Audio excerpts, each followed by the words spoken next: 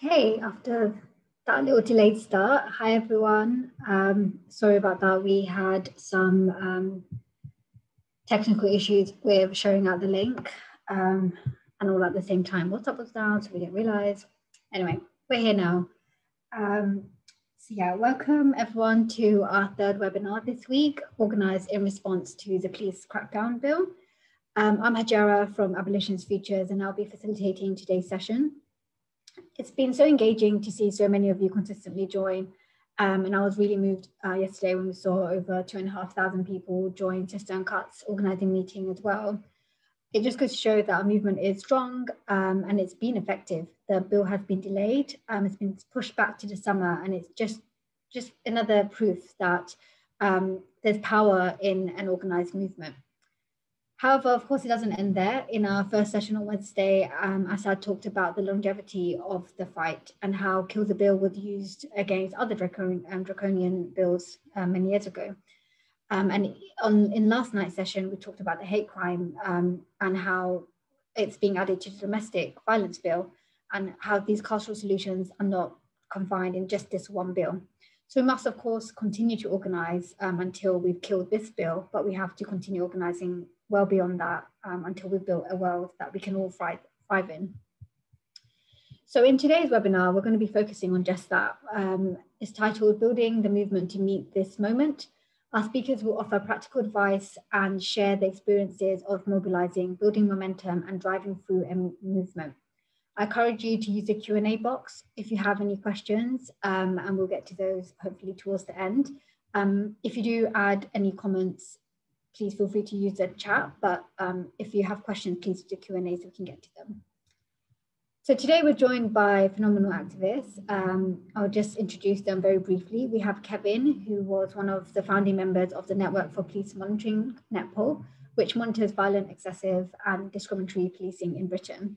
We're also joined by Zahra, who's an educator who organizes with No More Exclusions, also Becka, who is a researcher focused on mental health diagnosis in UK prisons, and she also organizes as a creative campaigner with groups such as um, Fuck Boris.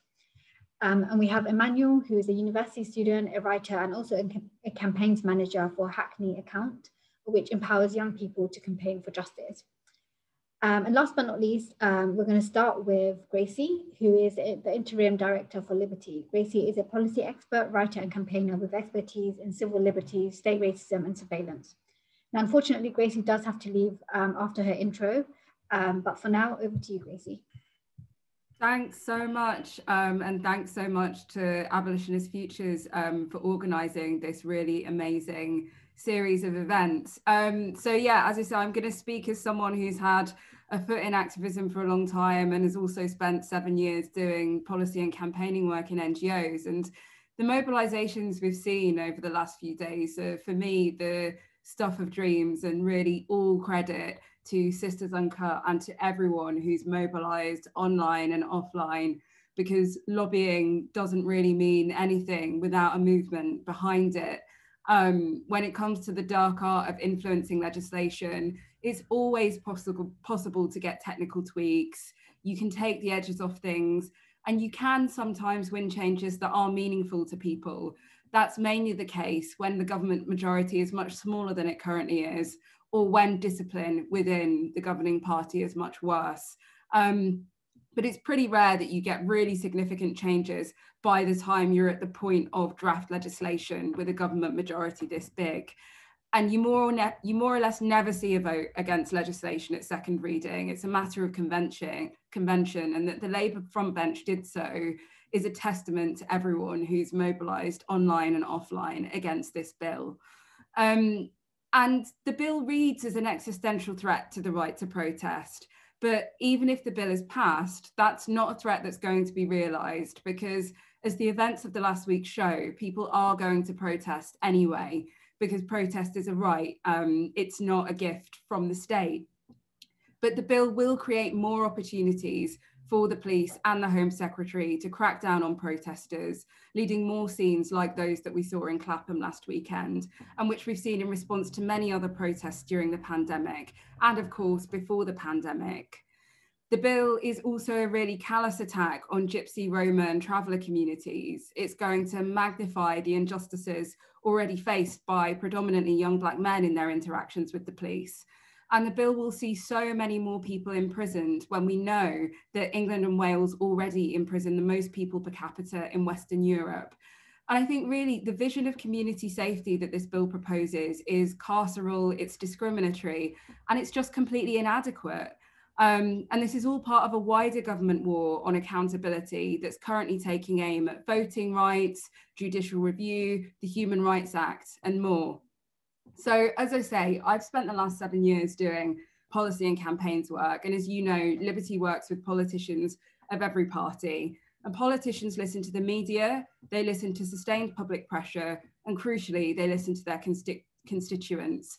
And it will take all three to keep the Labour front bench grouped around amendments to get rid of the worst excesses of this bill and to bring Conservative backbenchers on side. But as I say, legislation is the tail end of a very long process of public conversation and policy making. And if we really want to win in the long run, we need to get out of defensive mode so that our demands for rights and freedom set the agenda.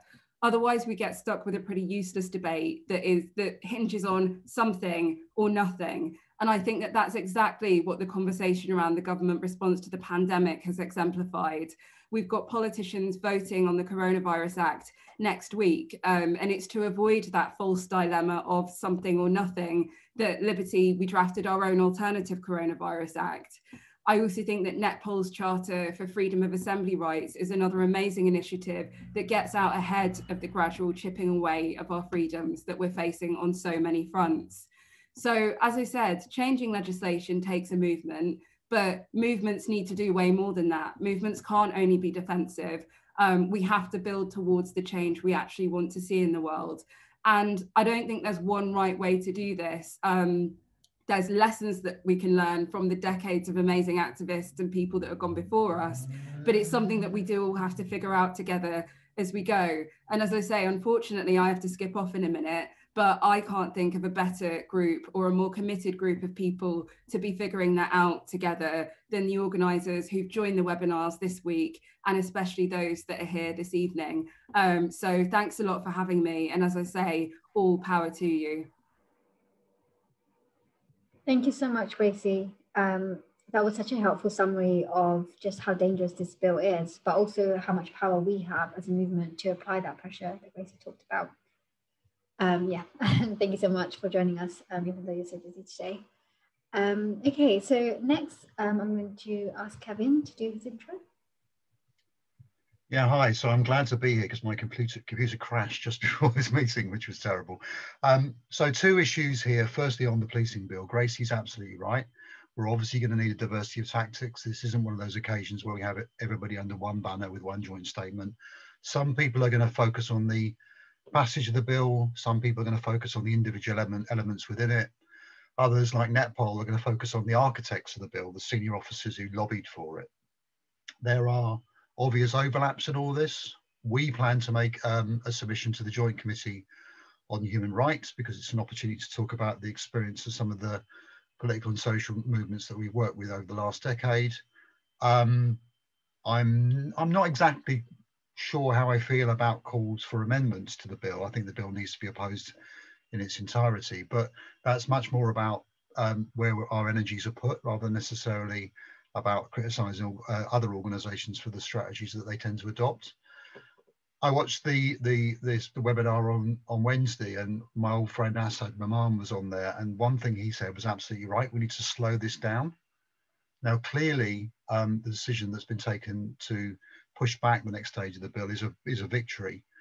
Um, but sustaining the pressure that, that over the last exhausting week is going to take reflection and it's going to take organisation.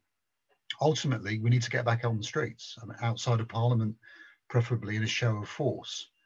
Uh, if not before, we definitely need to do that by the, by the 17th of May when lockdown restrictions start to ease.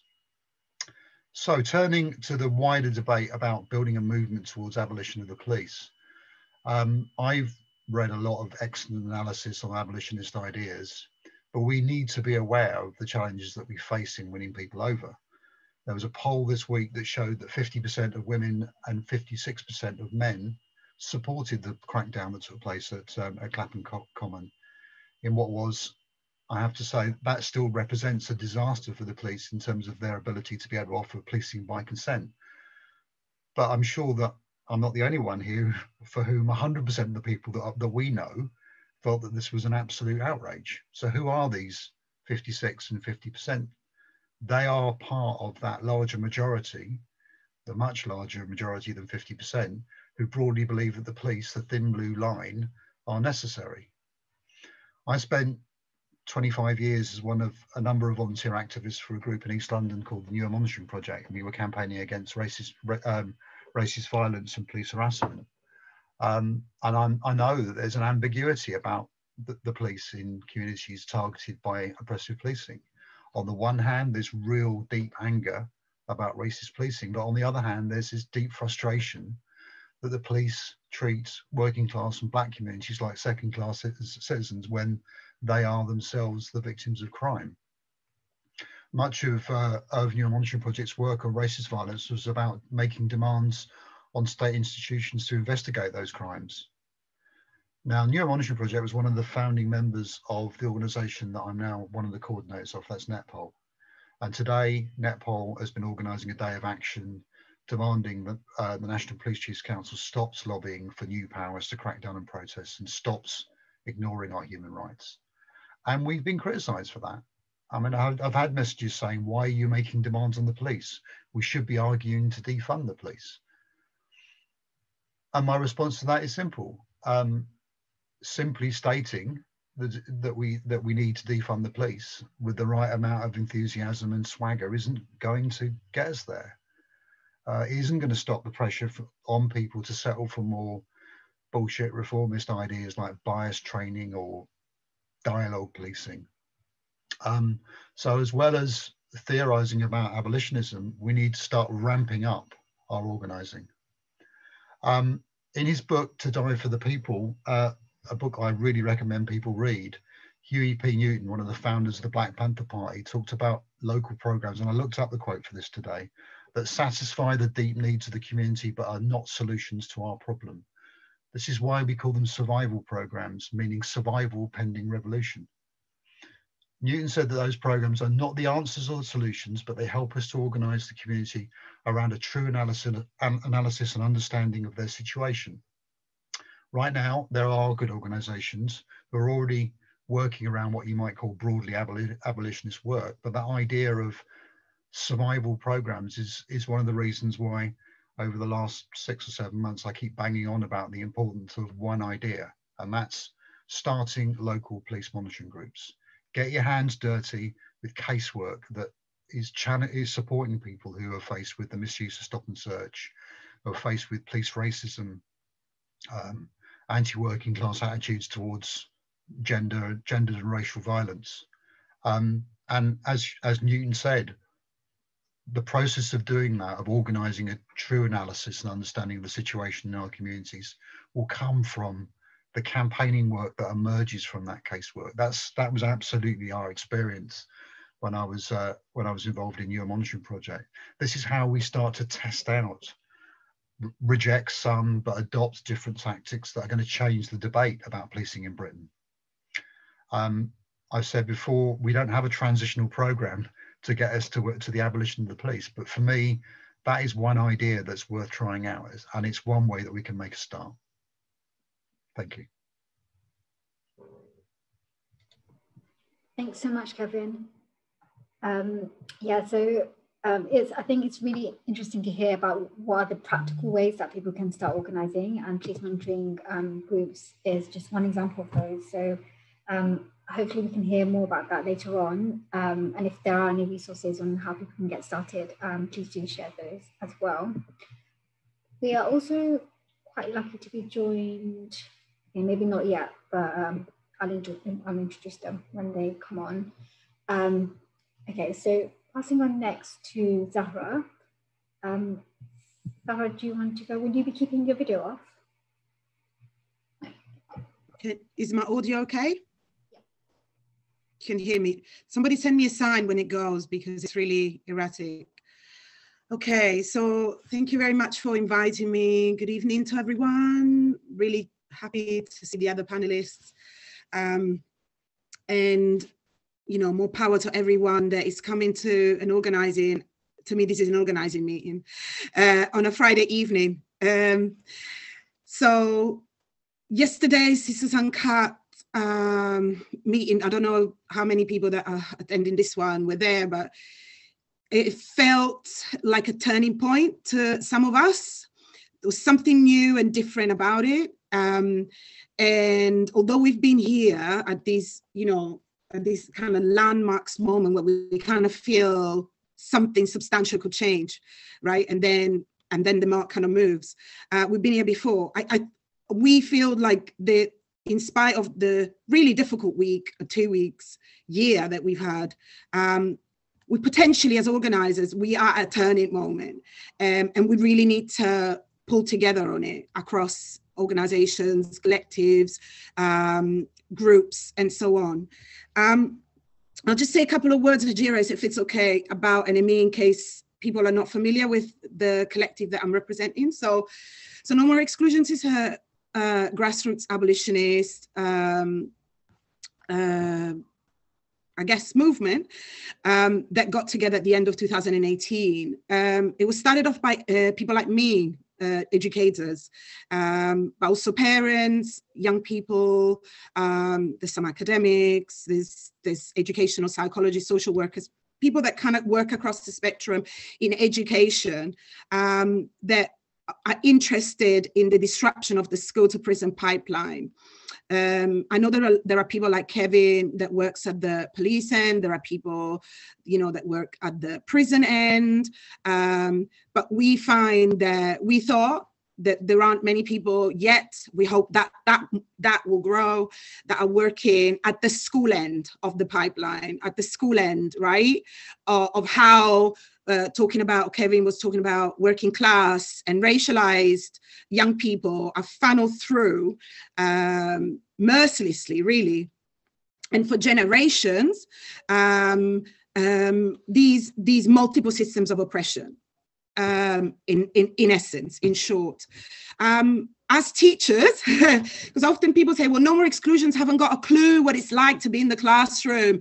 They don't know how hard it is to be a teacher. Uh, yes, we do. Uh, myself, I've been a te- I was a teacher, still a teacher. Once a teacher is always a teacher uh, for 20 years, uh, half in secondary mainstream and the other half in a pupil referral unit uh, alternative provision, which I'm so a lot of people uh, will know, and maybe others don't know, is where young people and children who've been excluded, as young as four, by the way, as young as four and five, you can be excluded, permanently excluded from school in this country, um, uh, come to, to those kind of settings. And um, and I really thought um, in those kind of spaces that, you know, we can make a difference, talk about reforming, right? Reforming the individual and, and the change that the child, the young person can do and so on. I think it, it's only, and, and this is a big regret as an educator, is only, as and this is why education is so important, is only as a result of sustained study, looking at critical race theory, black, black radical theory, black feminism, um, that that really came to grips with um, I suppose how I how I, have been complicit as an educator in that system, how I have contributed to upholding it, and it is quite a painful realization. Um, but I think is really necessary in this process of becoming an abolitionist that we all kind of start from a place of self uh, reflexivity um, and we kind of look at not, not just our privilege you know there's a lot of talk of examining your privilege. Yes we must do that but also we must look at where are we positioned within these systems. Not just because um, of how we contribute, or important that is, but also because of the way we could influence those systems from the inside. Um, in terms of, uh, Kevin was talking about the, you know, setting up uh, monitoring, mo lo local monitoring groups. So NME organizes in local chapters. And right now we have one in Manchester, one in Birmingham, one in Bristol. Um, and we hope that there will be more. And what, what we try to do is multi-pronged. So there is a lobbying element to the work there is a uh, organizing element to the work, which is seven days a week, round the clock. Sometimes it feels, and then and then I, I guess we haven't done much direct action yet, but it is certainly something that we would like to do. And this bill, of course, threatens that aspect of the work that we have been planning to do. Um, I guess amongst the organizers that are here tonight, NME maybe one of the youngest maybe one of the baby movements. Um, so i would urge you know kevin and abolitionist futures and everybody else that's that's that's uh, been around for a while um, to kind of you know extend the wisdom of the things you've learned. Uh, how do we keep ourselves safe um, yesterday, uh, those of you who were at the Sisters Uncut uh, meeting will know that I read out a statement. I'm not a member of Sisters Uncut, but I opened the meeting by reading a statement on behalf of Sisters Uncut because of safety and security uh, concerns, right? I think we really need to think about how do we keep each other safe, um, both online and offline. How do we do community care? How do we take time out? How are we encouraging each other to sleep? How uh, uh, these are very basic things. I know it sounds very basic but i think as organizers uh, from my experience um, we often take care of everyone else but ourselves. And and i think that is a real huge threat to the movement. If we're not well if we're not um, able to, to um, look after our own garden, it's really unlikely we'll be able to look after other people and the movement. So those are my kind of messages, my kind of key messages. Um, if people want to get involved, I'll drop some links in the chat if that's okay. Um, and I'm going to stop then. And just solidarity to everyone. Um, it always it's always darker before dawn, so we're just going to keep going. Thank you. Thank you, Zahra. Um, yeah, that was so powerful. And that's the thing with No More Exclusion. You talked about the whole from school to that whole system, you know, and I think many of us who are racialized and come from working class communities, I'm sure we all have family members or maybe ourselves who have gone through that and we know how difficult it is, the endless attentions, the endless you're, you're the trouble kid and how hard it is to change that image. So I'm forever grateful for the work that um, you guys are doing, even though you are a baby, a baby organization. Um, and of course, you talked about the very powerful um, messages of how we can think about the positions that we have and then also look after each other as a movement. So again, I hope we can, in the discussions, kind of share some of those knowledges um, with each other. Um, next, I am going to ask if, um, yeah, Becka, if you want to um, introduce yourself and get going. Hi, thanks so much everyone for coming this evening and thank you to Abolitionist Futures for having me. Um, I really want to talk about something quite specific today. Uh, we've heard both uh, from Gracie about lobbying, from Kevin, and also from Zahra about what uh, organizing looks like in a long term way. But I just want to talk about something specific, which is mobilizing, um, mobilizing for actions and for demonstrations, because we've seen the way in which really quickly pulled together sustained forms of protest can shift massively the public conversation on this bill specifically, and can also shift the way in which, as Gracie has talked about, politicians and parties are approaching it. So really, I just want to say mobilization is for everybody. Um, this is not something that is beyond you because you're not a professional activist or you don't have years of experience or you don't work in some kind of social or community NGO. You're not a 24 7 rabble rouser. It's not something you identify with. None of that matters. Every single one of us can contribute to create and grow these kind of mobilizations in our community where we are. And if we're going to beat this bill and if we're going to uh, continue to survive and win things under this government, we have to. It's imperative that we all make those kind of contributions. So I'm speaking today kind of about a case study, I guess, that I was involved in, which was the Fuck Boris campaign, um, because this is really what we did. We were an unfunded group of mates, essentially, who when it became clear that Boris Johnson was going to become our prime minister, we knew that we could not let that day pass without, at the very least, uh, some kind of marking of the fact that there was widespread disapproval of his becoming prime minister of this country. Uh, and so in three weeks, with no money, we fundraised, uh, we built demonstrations, we produced, you know, the social media and press aspects of it and did the communications work as well. We reached out to a broad range of organizations to be co-hosts for our event. We spoke to them about the kind of issues that they wanted to make sure were represented in our demonstration. We got a double decker bus and a sound system because we were going a bit overboard at that point and we wanted it to be a festival. We wanted it to be a celebratory day. It was the middle of summer um, and it had a bit of a carnival vibe to it as well. Um, and within three weeks, we managed to turn around a demonstration of over 7,000 people um, to meet Boris as he walked into 10 Downing Street. And indeed, we actually stopped the Transport Secretary, Grant Shapps, for going into Downing Street and getting his job that day, getting assigned his new role because we were filling the streets outside of Downing Street. And really, I tell that story just because we weren't professionals. This was pulled together by scrappy women. The majority of people in Fuck Boris are women of colour we thought about key questions that we wanted to do with this action. What kind of a role would this action serve, and how could we put it together with the resources we had, the people that we knew, and then we did it. Uh, and following on from that initial demonstration, we actually then, over the course of the 2019 election, managed to support groups across the country to run 45 different Fuck Boris events. Some of those were parades and demonstrations of a similar type, but others were things like uh, club nights and events where people came and fundraised for community groups. Uh, we held a similar one like that in London, which fundraised uh, for Hackney Account, which is one of the organisations that's represented here today by Emmanuel. Um, we also supported people to run really innovative different types of events. People had political education sessions in local barbershops um, as part of the sort of Fuck Boris network. People ran uh, cultural events where instead of buying a ticket to enter, you brought a bag of shopping that was then donated to a local food bank. Uh, so we just tried to grow that network with a range of creative, diverse ways to get people active. Um, at that point, that was around the election.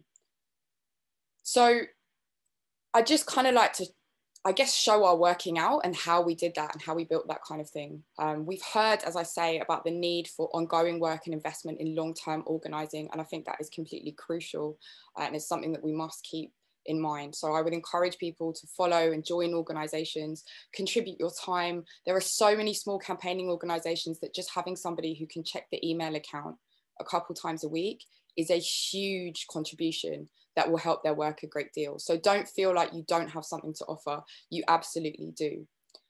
When it comes to mobilizing, however, or if you want to set up your own kind of organizations, I'd encourage everybody to think about the breadth of people that you know from home, work, from your local area, leisure activities that you're involved in, university or school, what might bring them together in this case on this bill what are the different interests that those groups that you are, have contact with in your life uh, could bring them in to become part of an alliance that would stand against the bill in your area in your community?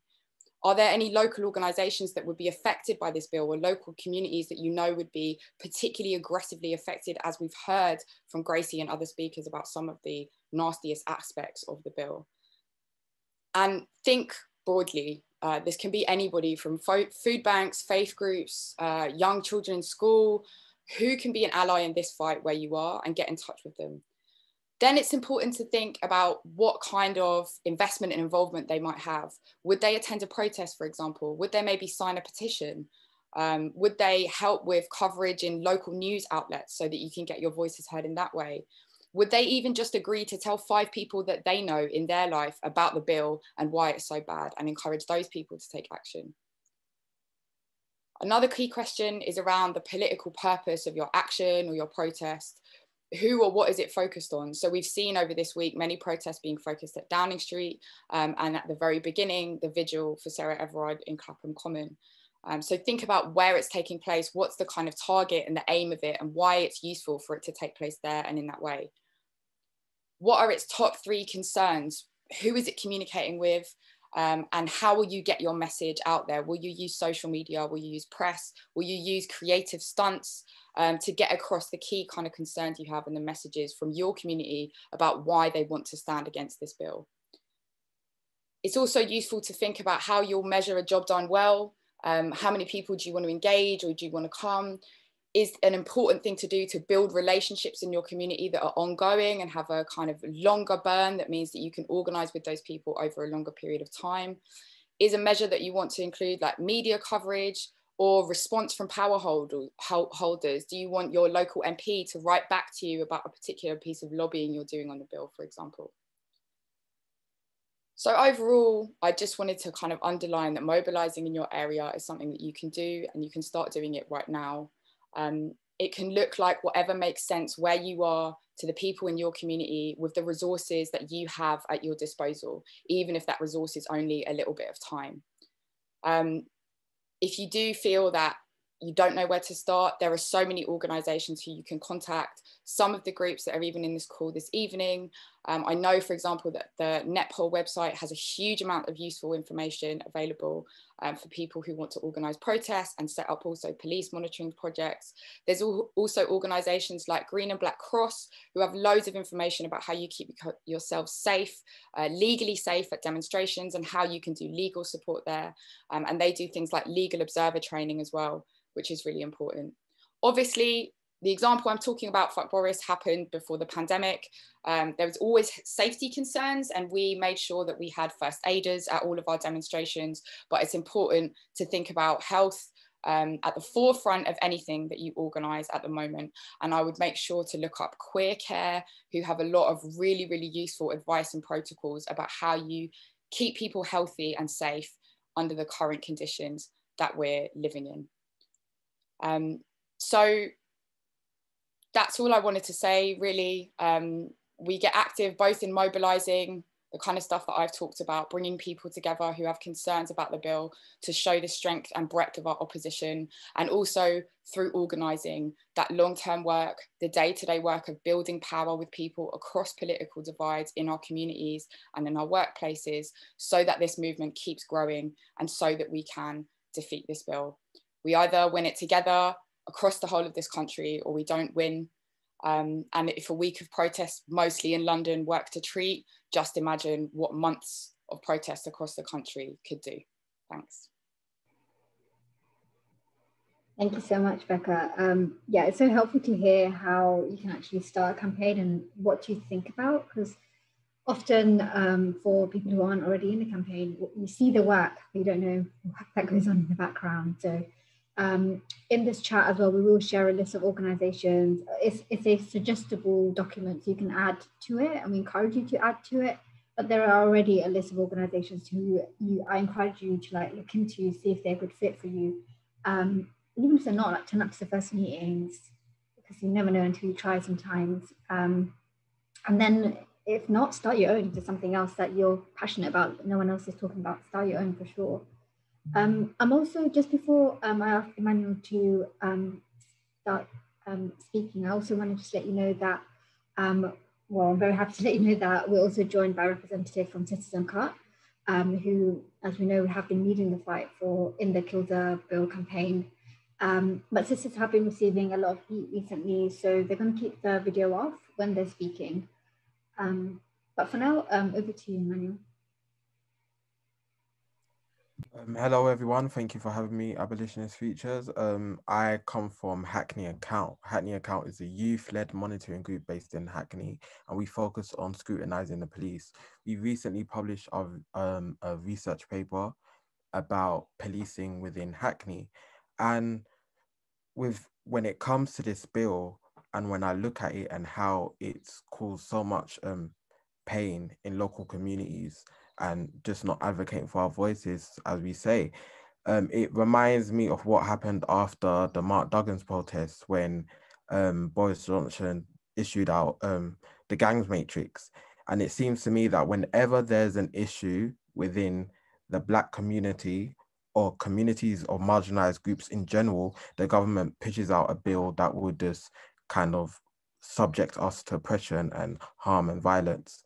And what when it comes to mobilizing, what I would say to everyone here is that we need to make sure that we understand who we are going behind and who we are supporting. When we look at things like identity and represent, representational politics, they don't really advocate for all groups. We see that a lot of the times they use public figures that identify as black or BAME and they push them out just to mobilize people behind them and get votes. And we need to move away from things to do with our identity and actually scrutinize the person based on their beliefs, their policies, and their views. Um, at Hackney Account, um, the way we've kind of mobilized people is get people behind the community and people that are from the community that actually have lived experience of police brutality and police violence, people from quote unquote the hood or from council estates to be the people at the forefront and that would actually conduct the research. We train people to do the research, we train people to do the rights, and we train people about the rights that they have under police and being stopped under um under police and so forth. And um yeah, that's all I've really got to say today. I haven't got much to say. Thanks, um, Emmanuel. It's really, I mean, I live so close to Hackney, so I know how, um, well, how horrible, for lack of a better word, right now the police are particularly to um, the mostly black and brown community here.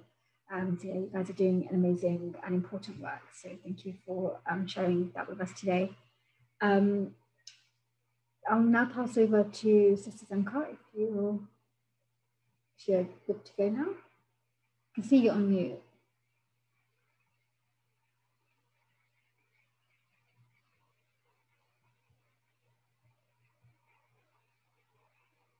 Um, let me just. Oh, Hey, can you hear me? yes, loud and clear. You can. Okay, cool. Uh, um, yeah, thank you very much uh, for having me on. Really respect um, Abolitionist Futures work, and I know it's been a really hectic week, but I actually think it's really great that alongside the on the street mobilizations, you've been able to like provide the very important political education alongside it. I feel like that is my personal dream. So thank you so much. It's just kind of happened by accident, but I just think it's really great. Um, so yeah, in terms of mobilization, like I obviously it's like great to hear that the bill is going to be delayed. Um, sorry, I'm out on a walk at the moment, so sorry if you can hear lots of background noise. Um, first walk I've had all week. Um, so yeah, like it's great to hear that the bill will be delayed. Um, I actually like a few days, like well, maybe a couple of days before, I asked them like legal people who like know a lot like you know do you think there's any chance that this mobilize mobilization can at least get it delayed? Like i know we're not going to necessarily kill it like right now but do you think there's any chance we can get it delayed? And they were like nah nah it's never going to happen it's never going to happen. And i was like okay fine long game long game. And like we did like those constant mobilizations over the last week like has actually shifted something and i think the reason why people assume that that wouldn't happen is because you know the Tories have like a massive majority, but I think this week has actually really shown that even with that majority, they really don't know what they're doing. Like they really don't know what they're doing. Priti Patel fucked herself this week. Sorry to swear, but like she really did, and like has been exposed of like throwing the Metropolitan Police under the bus, and so like actually that's made at least me feel a lot bolder in terms of like what our possibilities are to be quite politically shrewd and actually see that you know they're flailing and we're getting organized. So like i think that's one thing that i'm kind of like feeling is eh, i think everyone needs to sort of take home and like feel really proud of especially everyone that's worked so hard all this week that's mobilized that's been out on the streets that's been organizing things like abolitionist futures sessions like this has all been quite critical for that in terms of like what happens after this so the, another thing that the person that I spoke to a couple of days ago said is that they thought it wouldn't get delayed, but they thought that what they'll end up doing is like basically like changing the bill so that some elements of it like remain and some elements go. And I think that that is actually really highly likely. And I think that that has the potential to really divide and divide and rule essentially that some you know this this bill actually impacts so many different communities and even though it's like disturbingly authoritarian it like the fact that Priti Patel hates all of these people and wants to have in one fell swoop in one bill something that's just going to take away the rights of so many different groups also has the kernel of like solidarity in it. So I do think it is extremely important that you know they are going to want to divide and rule by giving crumbs to some people and then I suspect like continuing with the criminalization of black communities and Gypsy Roma traveller communities. So it is absolutely critical that everyone's being brought together through this, through organising on this bill, that if that does happen, needs to like stay with it, stay organised, stay organised in solidarity and not like go home once they're the bit that they're most concerned about, like has has has been has been resolved for them. Um in terms of like what we do now from like you know, I think it would be really, really um, key to spend some time. Now we have a little bit of a delay um, to like get people trained up, get people trained up in direct action, in organizing. Um, you know, sisters like if you were at the meeting yesterday, sent um, had a like form that people filled out, like hundreds and hundreds and hundreds of people already filled it out from all over the country. And it's going to be really important that people like organize in you know their regions but also feel trained up and also feel connected with each other so that they're like everyone feels supported and part of it but also can start taking their own action um so yeah i feel like that that you know that's that's something personally that i think is going to be really important is like keeping in touch with people um keeping them trained up um making yeah like and spend the next like however long we've got with this bill like um, prioritizing that. Um, but yeah, I definitely feel like, you know, we can we can definitely definitely win this with um, organizing and being kind of politically shrewd. Like like I said, the, the Tories might have a majority, but they they're not they're not as strong as maybe we think they are. Like you know, th- this week is they're all over the place, and I feel like we need to learn how to exploit that. We need to be politically shrewder uh, exploiting their weaknesses like they try to with us and we've got to outmaneuver them. Um, and that means solidarity that means like being clued up um, and that means like looking for opportunities. So yeah um, yeah thanks for having me. I hope that was helpful it was thank you so much. Um, yeah sometimes all you feel is despair so it's really energizing to hear about work that's gone on and the direct impact that it has so quickly. And um, yeah and on the divide and rule like as i men- mentioned on um, on wednesday's talk i think it was about like the crumbs that they gave previously that ruined movements before. And then nim yesterday talked about um, like the hate crime um, stuff that's coming through and how that might end up fracturing our movement so yeah i think it's so important for us to keep learning from each other as you said um, now that we've got a bit of time and continue applying that pressure, um, making sure that we're not we're not taking the smallest of wins um, when that will end up being really detrimental to other communities. So we're actually um, well ahead of time, um, despite that technical issue in the beginning. So thank you to our speakers for keeping it short and sweet, which hopefully um, that we can answer loads of questions. Um, for if you do have questions, uh, just remind you to please use the Q&A box to add the questions in and we'll hopefully be able to get to them.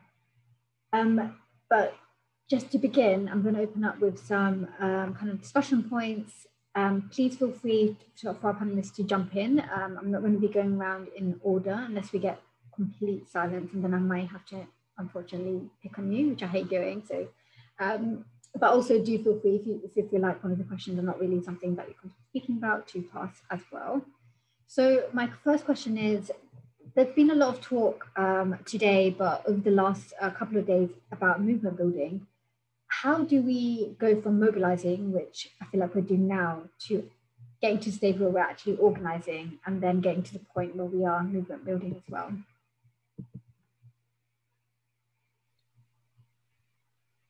Go ahead, Kevin. I think some of this has been touched on already, but the the crucial thing I think is that it has to start from from the communities where we work, where we're based. Um, I mean, people know what they what what's happening to on the ground where they live. That's that tends to be the reality. Um, and in terms of the the the the the approach to be able to mobilizing around the bill, that's part of it. But part in in the longer term, because we are talking about building a movement that, uh, that is looking to challenge the role of police in society. Um, that is going to be the particular issues that may be happening in Nottingham or Bristol or Manchester or wherever it might be. So, um, and it's practical stuff. The way the way that movements are built is by providing some degree of support to people who need it, right? Providing that solidarity on the ground. Um, there's a there's a new group that's been set up in Bristol, Bristol Cop Watch, which is basically just doing uh, helping just helping people to deal with uh, making complaints uh, about either police violence or or you know uh, misuse of stop and search powers. And you know it's exhausting work but it's really important.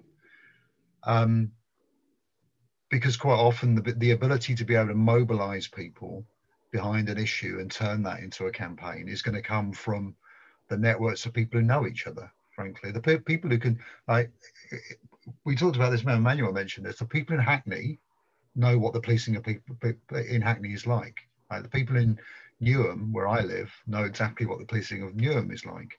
Um, young people know way more about the policing of stop and search than I'm ever going to be going to be experiencing now. Um, and so I, I, guess that's the starting point. You need we need to start mobilizing locally. So there, there are lots of national campaigns. I'm, you know, I'm speaking on behalf of a national campaigning group, but local organizing is absolutely key, I think. I mean, it always has been the way that movements have been built from the bottom up. Thanks, Kevin. Does everyone want to jump in?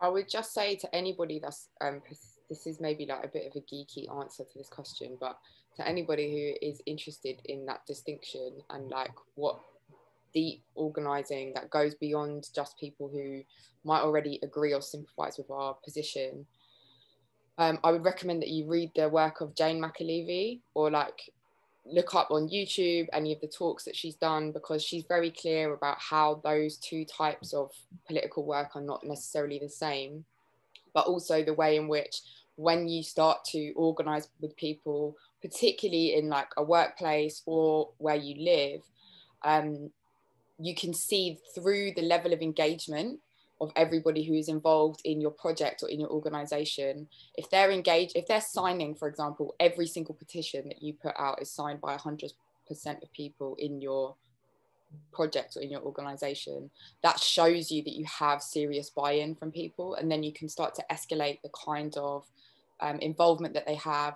And when you escalate the involvement that they have it means you have more and more power. So she has quite helpful kind of equations really for thinking about how you build power through that depth of organizing. And oftentimes it's hard and it's like harder than mobilizing with people that we know and like and agree with. But it's really necessary work if we're going to be able to counter as gracie said at the beginning a government with this kind of majority. Mm. Yeah for sure and starting even with like i said like people you know your friends and families who are living where you're living. So they're experiencing these things, um, even if maybe they haven't, obviously you're coming to talks like this, even if they haven't developed that language yet. Like I think it's helpful to talk through the experiences. That's how I've done it with my family anyway. And it, it helps. And you don't realize just how much of a shared experience you have until you start talking to people about it. Um, Zahra, I'd love to actually ask you, um, maybe quite selfishly, because I'm really interested in this. How did you get from yourself being an educator yourself and then make that jump to starting up and like working within something like no more exclusions? Because you've done it. You've done the going from mobilizing to now organizing. Yeah. Hi Hajera. um I suppose going through the process of exclusion myself, um, thanks to the marketization of education, I found myself without a job uh, you know, after restructuring and redundancy. And um, and that was both good and bad. The bad thing was that I I was without a job and I really love my job. Um, I love teaching. I love being in the classroom and I, and I really miss it. Um, but then not being in the job, I suppose freed me to speak for the first time in 20 years. I was able to say things without worrying about what the employer would do uh, or say about my views. And, um, and I haven't looked back. So I'm not ready to give up education anytime soon. Um, I'm just I, I'm just taking a, a hiatus out of the classroom. I plan to go back one day, um, but there's so much work that has to be done at systemic level, mm. and I really feel that having you know that that experience both in mainstream as a teacher of color and then at the pupil referral unit. You know there are there are some unique insights that i think are, have to be mainstreamed. A lot of people don't know that what goes on in these units. A lot of people don't know you know what the daily realities are and the, the struggles the trauma you know the, the lived experience that comes there. And I, and I think yeah i mean it's not i wouldn't uh, the, the term activist is very uncomfortable. I'm an educator. Wherever I go, that's what I do. And, and, and, and I'm a learner as well. You know, I'm learning from people around me and my students and the children and young people and the elders. Like NME is multi-generational. We've got young people, we've got people in their 20s, 30s, and we've got, you know, and everybody's everybody's got aunties and uncles you know in our movement that you can go for for different things whether it's legal stuff psychological whether it's healing whether there's strife mutual aid you know it's a huge collective of expertise. And it's just a beautiful thing to to be able to fall in love with education again because it became to, uh, particularly towards the end of my career it became obvious that i didn't fit in and so many of us don't fit in our faces don't fit, our views don't fit, uh, our, our resistance to oppression doesn't fit, uh, our refusal to enact policies like prevent doesn't fit, restraint doesn't fit, detention doesn't fit. So what do you do? Do you continue to struggle on the inside, although that is necessary? Or from, you know, you step out. And in my case, I was forced to step out. But looking back, it was, it was probably the best thing for me. Yeah. Gosh, it's it's funny how things work out, right? Like, yeah. Yeah. No coincidences. Yeah. Um, Emmanuel or sisters, I don't know if you wanted to jump in on this question. Sorry, what exactly was the question again? Um, let me get it out so I'm not messing up the writing. Um, so yeah, um, so there's been a lot of talks about movement building, um, but I guess the question is how do we go from mobilizing, which I feel like many of us are at now, the stage of mobilizing, getting people involved, to then go on to organizing and movement building? Yeah, so in terms of making it more sustainable movement, I would say education needs to be at the core of the movement and organizing. Normally, when we see things happening like the what happened in BLM right now, is that people um, collectively mobilize based on outrage that is currently now in the present. However, it's more it's important that we look at the more systemic issues and that can only happen when you look at the history of this country and the issues that we've had with policing and knowing that policing is it's never really been there to protect and serve and that policing has always failed and the criminal justice system has always been failing not just now but in, in the in the past as well. So it's important that education is at the forefront of what we're doing and that it, we keep advocating based on theory and theory and um and public um kind of mobilizing is works hand in hand. And yeah.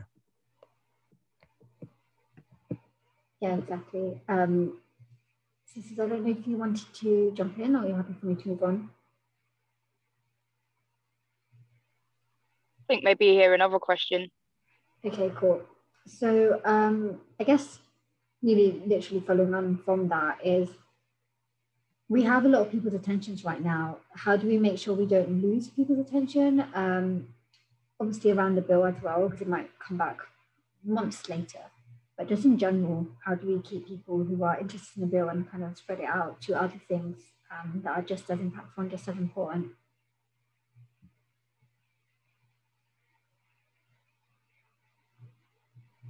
Um, I think that we need to get better at staying in touch with people um, and making them feel like they are really part of something.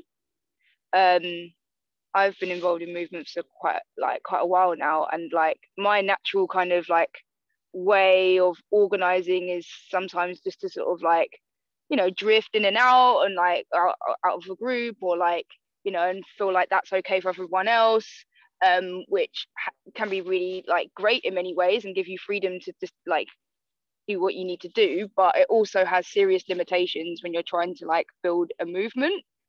And yeah i think you know i definitely feel like need to like there needs to be some reflection on what the limitations of our movement so far have been.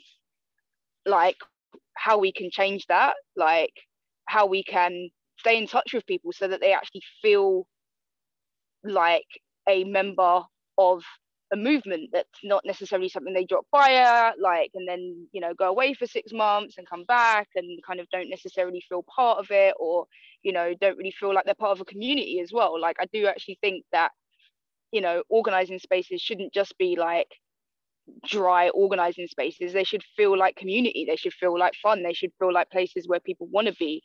Like sometimes they've got to do you know you've got to do the like difficult conversations but you should also be like spending time with each other getting to know each other.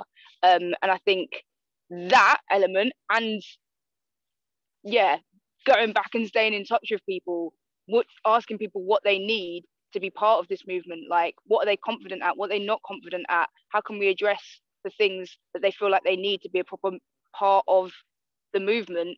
I feel like that element you know maybe the left has not been so good at over the last few years and is going to need to get a lot better at um, to keep people's attention and make them feel part of something when it's not in the news.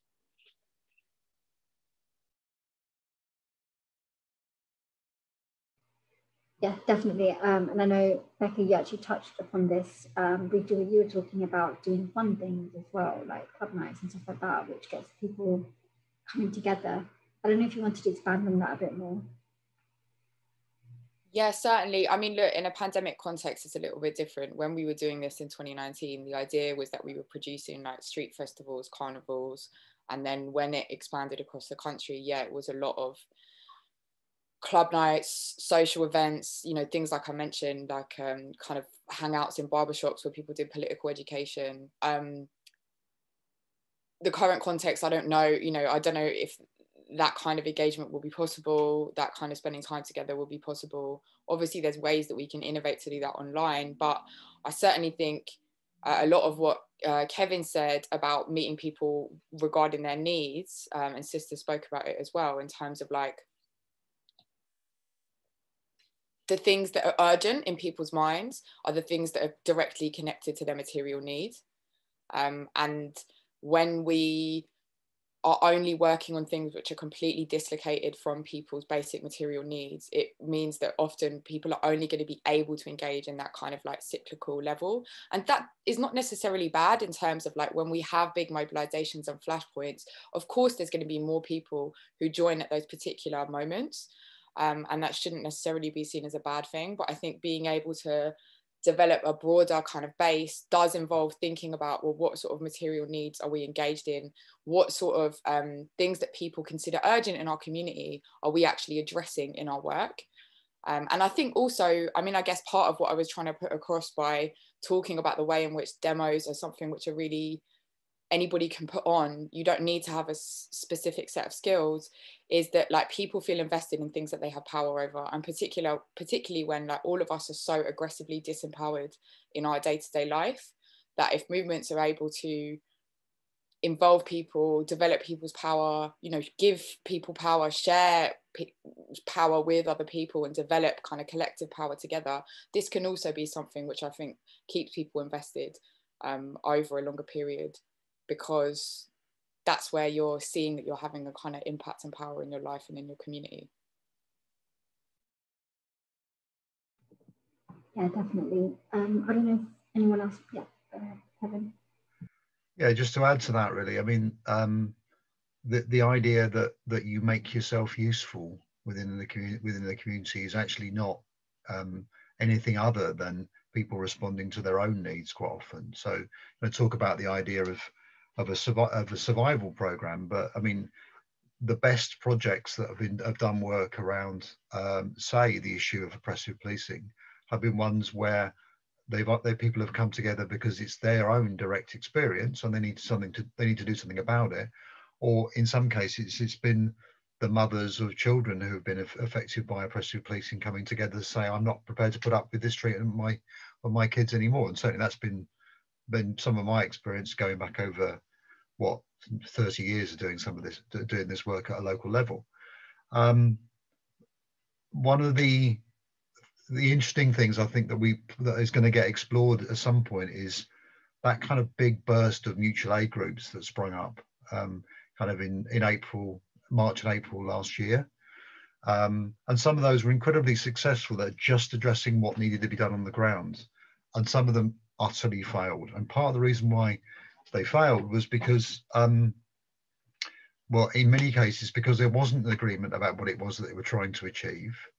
But many of them were just plain and simple co-opted by by the by people within local with with power, particularly within local councils, and the ability to avoid being pushed into um, a position where you are essentially just um, a, a, token response to a, to a particular problem that um, oh yeah we're supporting that group and that's fine. Or that you get somebody that the council just decides that he wants to push you in a, in a completely reformist direction are all considerations that other people have been through before. You know it's not it's not like we have to keep on reinventing the wheel. There are people that have uh, had this experience in the past. Um, but I do also think that the the starting point for for mobilizing has come because people not necessarily have a just a shared set of ideas, but but kind of know each other anyway, right? I mean, if I before doing this job, the, the uh, for Netpol, I spent 12 years working in a community centre right, in Forest Gate in East London, and that was brilliant as a political as a political education. That was fantastic because you got to know everybody, absolutely everybody from every conceivable group. Um, and it meant it meant that whenever we did need to mobilize about anything, you didn't have to build the structures from from scratch to get hold of people. You knew where people uh, were. You knew the groups that were doing um, work that are likely to be sympathetic. And I think those that kind of starting point, which is really really basic, is incredibly important for when the big when the moment comes when there's something you have to get everybody together for. Um, not having to do that completely from scratch and the, the last thing is is that when we do this, is not losing all that that knowledge and skills, not letting it all kind of drift off because a, a campaign has has finished. That's something we're incredibly bad at of not hanging on to that to the kind of the store of knowledge that's been that's been brought together. Um, I don't have an answer to that, I'm afraid, but um, but I do think it's something we need to be better at, and we need to be better at it. We need to stop, keeping making that mistake all the time. Which is difficult to do. Um, I guess that's part of building. Does anyone else want to answer this question as well?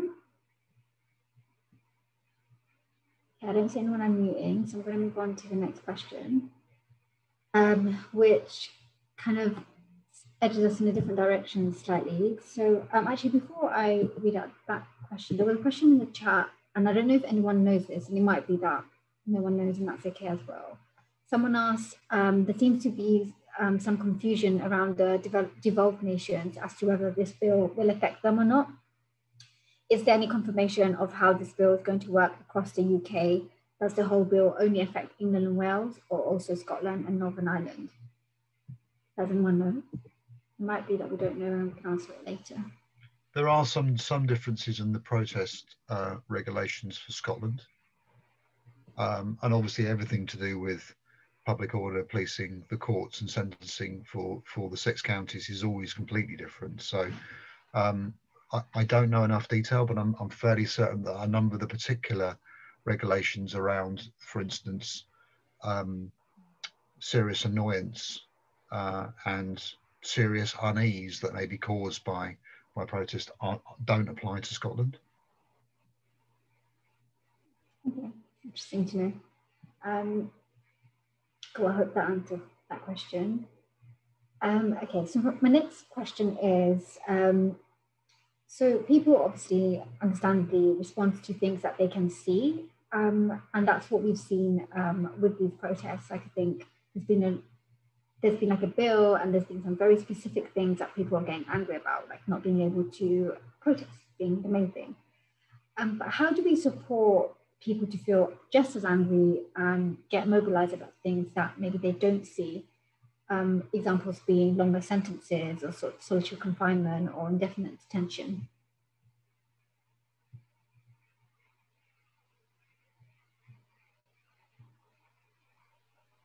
I'm happy to chip in a little bit on that one. Um, I, I do think it's you know it's understandable why particular elements of this bill have been the ones that have gained the most amount of public attention and have been the kind of core points of mobilizing. Um, it is also a huge bill with a massive amount of stuff jumbled in there, but this a lot of the sentencing stuff that is in there uh, around prisons and prisoners is incredibly draconian and aggressive you know, we, as Gracie said at the beginning, have the largest um, per capita number of people in prison, England and Wales does, in the whole of Western Europe. And that number is set to rise. We currently have around, hovering around 80,000 people in prison. Those people have been in de facto solitary confinement for over a year at this point because of the lockdown conditions that have happened in our prisons. Uh, this means no visitation, no contact with family, with children, with loved ones. Um, and the government are quite openly saying that as a result of the 20,000 new police officers that they're going to hire, they expect the number of prisoners to rise to over 100,000 people in the next five to six years.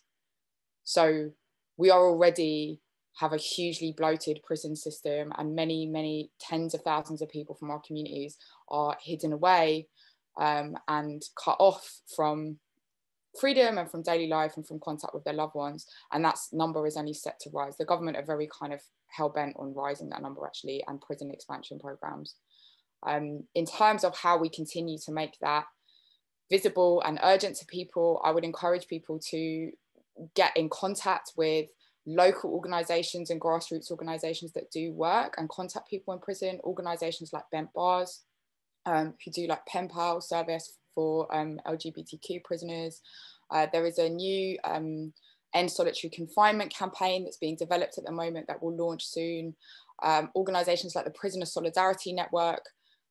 If you get involved with, you know, even just writing a letter once every few weeks to somebody who is in prison, this will enable us to keep those connections across prison walls. Um, and the more that we are able to kind of connect with the stories of people both inside and those whose loved ones are inside, who are on the outside and deeply impacted by that kind of mass imprisonment, um, I think that where we can, we should be emphasizing that these people's human rights are being violated uh, consistently now for a year and that our prison system is in a completely sorry state and that those elements of the bill um, should not be going through either because it's going to we've our prisons have been in crisis according to successive governments and media for about 20 years.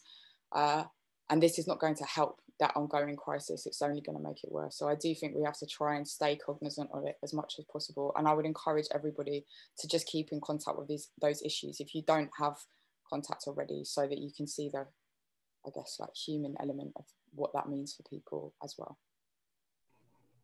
Um I wanted to come in on that. Um, so I actually think that like this week's mobilization, in many ways, is a really good example of people kind of organizing somewhat on something that they can't see because like this bill, you know, it's not law yet. The police don't yet have the powers that are proposed, but people have made the connections between the police behavior um, over the weekend at Clapham Common towards women with the possibility that, of the police having even more powers and it getting worse. So I do think part of it is like, you know, people can obviously feel that and sense that, like it's not happened yet, but they can sense like the dread of what that would mean if if that were to come to pass. So I think we definitely need to be doing more to connect the dots um, between like different struggles. Um, and yeah, definitely think part of that means like organizing with people who are impacted, um, people organizing with people that are organizing around prisons who are incarcerated or formerly incarcerated um, or detainees. And I also think it, personally, I think it also means like, I don't know, I, I, I think that we have sometimes got a little bit of a aversion um, on the left of like comparing different people's struggles and make and and and and having this sense that no one's experiences are, are reducible or comparable to someone else's um, experiences.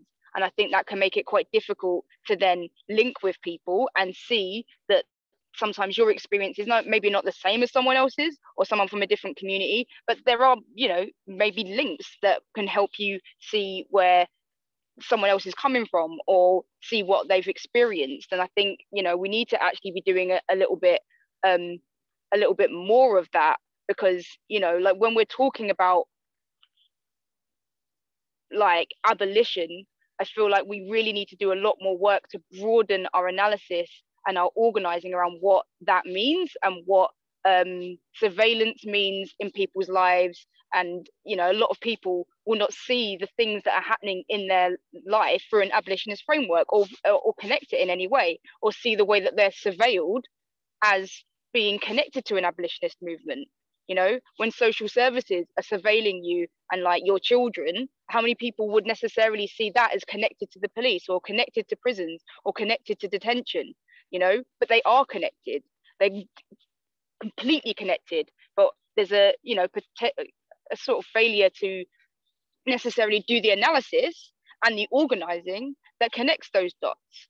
So like it seems invisible. And i think actually this week you know Priti Patel was probably really surprised that like the police response um to on saturday led to being connected to the bill. She probably never thought that was going to happen in a million years. Yeah, she she obviously ordered what happened on Saturday and never thought in a million years that we would make the connection between police disbanding a vigil and trying to stop um to stop this bill. So like, you know, and actually people have massively shifted on that over this week. People, you know, who didn't know about that bill now do and are connecting it and then in, in real terms in, in terms of like what that's going to mean for their life if it does come in so like yeah i feel like actually this week has been a really good example where maybe people are connecting the dots they are seeing that something that is currently not law what impact that will have on their lives and hopefully are seeing what impact it will have on other people's lives that maybe aren't them or aren't from their community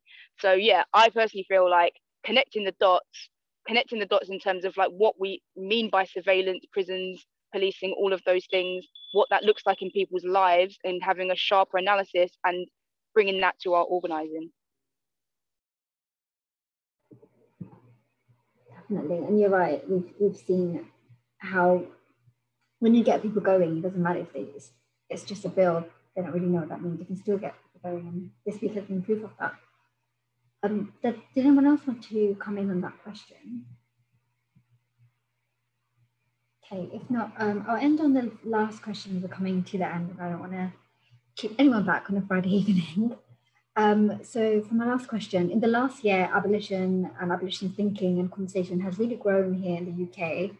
Um, so what does your abolitionist future look like? Um, and I'll start with Emmanuel. Um, to me, when I think of um, abolition and what it looks like to me, it means reimagining justice, reimagining a system that speaks for all and advocates for all and not just puts equality at the forefront but equity at the forefront as well and oftentimes when we look at abolitionist movements and stuff like that it comes from a space where people necessarily didn't know it was going to happen for example the haitian um, revolution that kind of came out of not nowhere but it came out as a shock to i'll say to the um, colonial powers that had um, power over that um, nation. So it's always a space for abolition in society. So I would say for abolition, to me, what it looks like is a system that advocates for all and which is based around love and care and actually addressing the root causes that people um, face. And it's not the carceral system that we have today, not a police state that is being formed through the bill that we have currently now. And it's just a system that is built on love and understanding that the people that we see within the criminal justice system when it comes to policing when it comes to stop and searches when it comes to prisons and inmates and and so forth so even even rapists they don't just come out of nowhere like they come from an area where society has failed and where people have not met the needs of these people. So it's it's basically based upon love and and care, I would say. And yeah. I love that. That's that's the kind of world I want to live in for sure. Um, does anyone else want to ask, answer this question? Um, what does abolitionist future look like for you? Oh, go ahead. Um, I, I, think the the simple answer is how can we don't know. Um, I mean, we start from uh, many of us start from from from uh, from a position of of not thinking that we have all the answers to that question because it, it's so complex. And also because let's face it that i think we also need to be honest with ourselves that as a movement abolitionism is in its infancy in this country. Um, and we are we've got an awful long way to go to be able to build something that actually represents a genuine movement. Um, so uh, to go back to something i said right at the beginning i think many of the ideas that we develop will be tested by organizing they will be tested by just going out and doing it um, there isn't a roadmap to um, to to to the place we want to get to. There's just the kind of energy to try and, and get started and get doing it. So, and that's what I said I, before. I, you know, at some point we're going to have to just go out and get our hands dirty. We're going to have to start doing that work ourselves, um, because otherwise we're just going to end up talking about what's happening in the states and and and and not really finding out how much that will actually work here. Exactly. And like everyone here on the panel um, has been doing that work. And I hope this, um, this whole thing has inspired more people to jump in as well. Um, anyone else want to go? Um, yeah, I think my idea of abolition um, means like end, end to capitalism. Like, I do not see any possibility realistically of ending prisons, ending surveillance in our lives, ending policing without also ending capitalism and basically having to start from scratch in terms of like what everyone said, meeting our needs, meeting our housing needs, meeting our, you know, childcare needs, meeting our education needs without a capitalist system. Um, so that, you know, that is massive, but I genuinely don't think the likelihood that we can end those systems of surveillance, policing, prisons, all of that is likely to happen unless we confront that that which is a reality as far as I'm concerned. Yeah. Great, thank you. I've heard from almost everyone. So I don't know, Becka or Zahra, if you wanted to jump in.